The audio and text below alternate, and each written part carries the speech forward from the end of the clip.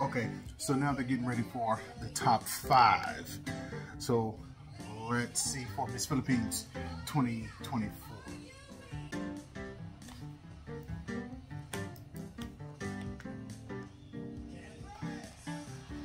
Quezon Province. Okay, Ahtisa Manalo.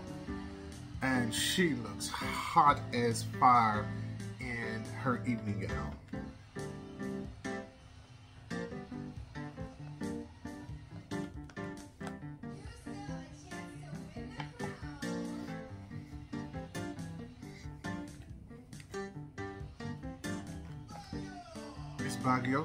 Tarah Valencia.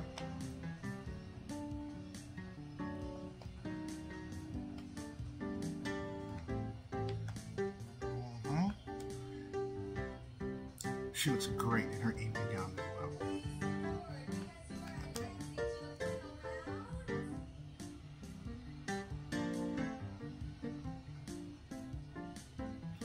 They make it so dramatic.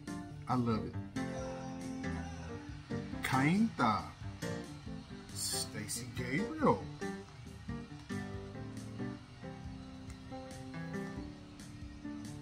Okay.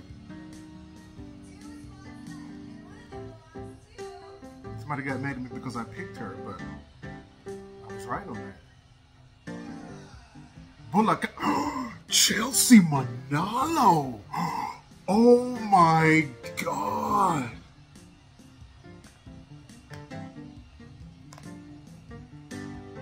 I don't believe she looks stunning. She has this white evening gown on, absolutely stunning. Here's the last one. Let's see, Lexi.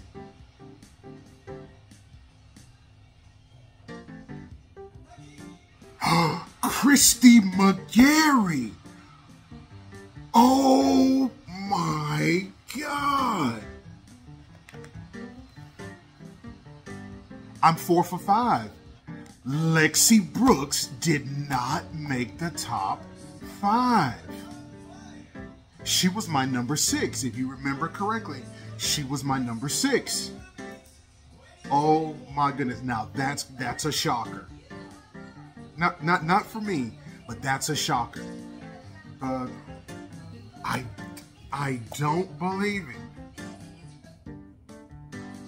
I don't believe it. I was sure, I was sure, I was sure Lexi Brooks would be able to skate by. I didn't, okay. I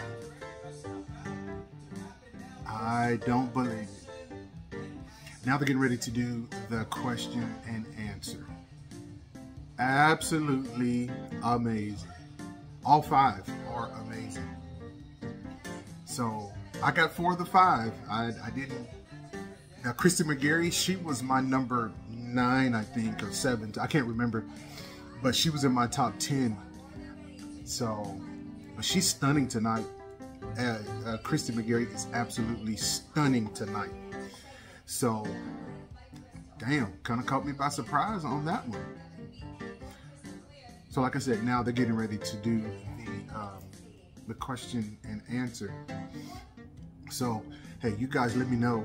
Let me know what you think. And uh, I know there's going to be a lot of people upset about this one. So, damn. Okay, that's it. The top five: Batista Manalo, Tarah Valencia, um, Miss Cainta, Stacey Gabriel, Miss Bulacan, um, Chelsea Manalo, and uh, Christi McGarry. Absolutely amazing. Absolutely amazing. So, anyway, hey guys, that it is what it is. Well, how did your top five shape up to my top five and uh, the uh, Miss Philippines top five? So it, it is very interesting. A part of me was hoping, there's going to be a lot of commentary, of course, about um, Alexie Brooks not getting in. She was my number six, and um, Chelsea Manalo was my number five. So let me know what you think. I'm curious why you think she didn't make it in. That's going to be all kind of conspiracy theories, of course, which I think is uh, going to be funny. I'll probably watch a few so I can get a good laugh. But what I have said before is she is immensely talented and and so I don't you know I don't want to make it look like I'm bashing her um, by any stretch of the imagination I've said that it was tough um, a lot of people in my comments said that it would be tough for her to be the first black queen but she made it to the top 10 she didn't make it to the top five and I think simply because I don't think it has anything to do with color. So let me just start as a person, as a black dude here living in the States. I think the Philippines, they might actually be ready for a black queen. Um, Chelsea Manalo made it to the top five. But I think sometimes with the Philippines, still, it's still a very conservative country, in my opinion. And when I say that, some people were put off by the fact that she didn't look feminine enough. She was too athletic. I love the fact that she was she was athletic. Um, I was just not sure about how that would come across. So I received some bashing for it, and and I'm I'm okay with that. I again I will I will continue to um, to uh, reiterate. She is immensely immensely talented, immensely popular. Um, she is very smart. And so I hope she uses her platform to do those things that she wants to do. She definitely has another chance to be in a pageant.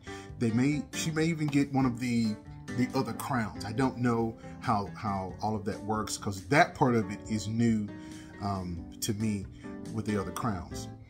And so, but simply one, uh, while she was immensely popular, I don't think she was feminine enough. That's one. I don't really know about the short hair. I don't know if that if that plays into it, but Filip Filipinas are known for their long hair.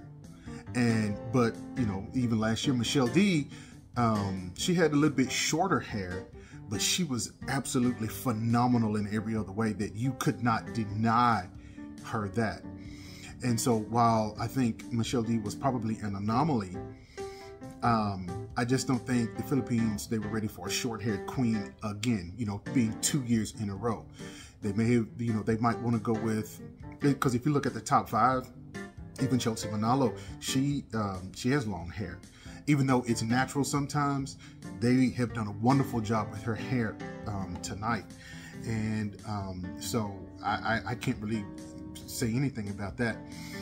But I was looking at the judges, and the judges are still, you know, mostly um, middle-aged men, and so they still want queens to look feminine. And I'm not sure, I don't know if they were turned off by the fact that she was androgynous. I don't think that probably played into it. I mentioned it a couple of times. I want to be fair. I, I mentioned it um, a couple of times that it was um, a bit of a turnoff for me. That doesn't diminish who she is and what she stands for. I don't I don't deny that. But in a beauty in a beauty pageant, you know, um, yeah, I mean, it might play a part because you spend most of your time not looking feminine. You look, you don't, you know, you want to look, you don't want to look male or female. You just want to be androgynous. You can go either way. But in a female competition, you have to spend so much time on the female side.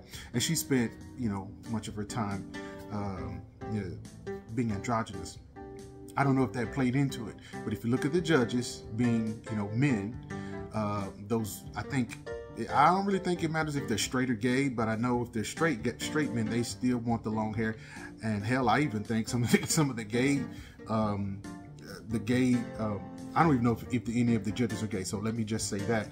But but mostly gay guys, you know, they have the long hair. You know, they put on the wigs and stuff. And um, I don't know if that played into it. I'm, and so I, I, don't know. It can be any number of things, but it's probably a, a, combination of the things that I have said.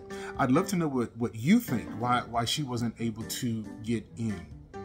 Um, I don't know what goes on behind the scenes because I'm over here in the States. I don't, and um, I do the, I do reaction videos for fun, you know, so I do have to work my regular job.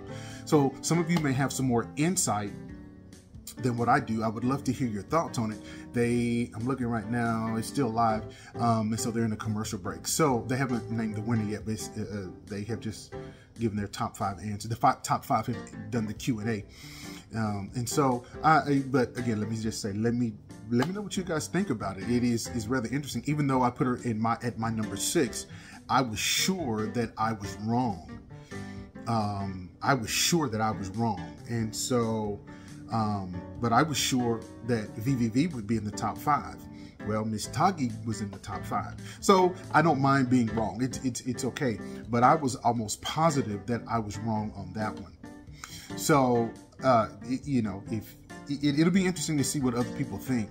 And uh, again, I've already received, you know, some unkind words because I expressed my opinion about Alexie. But I want to make sure that everybody knows I think she's I think she's an awesome young woman. She has a, a great future ahead of her, and so uh, maybe this is a slight disappointment. Learn from it, and and and then move on. So um, hey, it's not over yet. I'm probably going to produce one more video, and that's for the winner. So, um, but thank you guys for, for sticking around. And so, but seriously, let me know why you think that she was not in the top fives. And I don't want to hear, oh, she was robbed. Mm, that's that's not a, that's not an answer. You have to have something substantive. You got to have something. You got to have a, a, a real reason why you believe that she did not make it into the top five. I've already expressed mine. I'm kind of rambling a little bit because uh, you know, I woke up early because for the Philippines, it's night there. But for me, it was kind of early in the morning and I went to bed late. So so hopefully I'm not rambling uh, too much, uh, but I am having fun. I drank I drank some tea. I think I'm gonna have to get me another glass of tea to uh, stay awake. So uh, anyway, I am having fun doing this. It's the first time I've watched and commented on the whole this whole process, and so it's been fun. So uh, stick around. I'll I'll probably do one more video and reaction video, and uh, so but seriously, engage with me in the comments. So keep watching and let me know what what you guys think.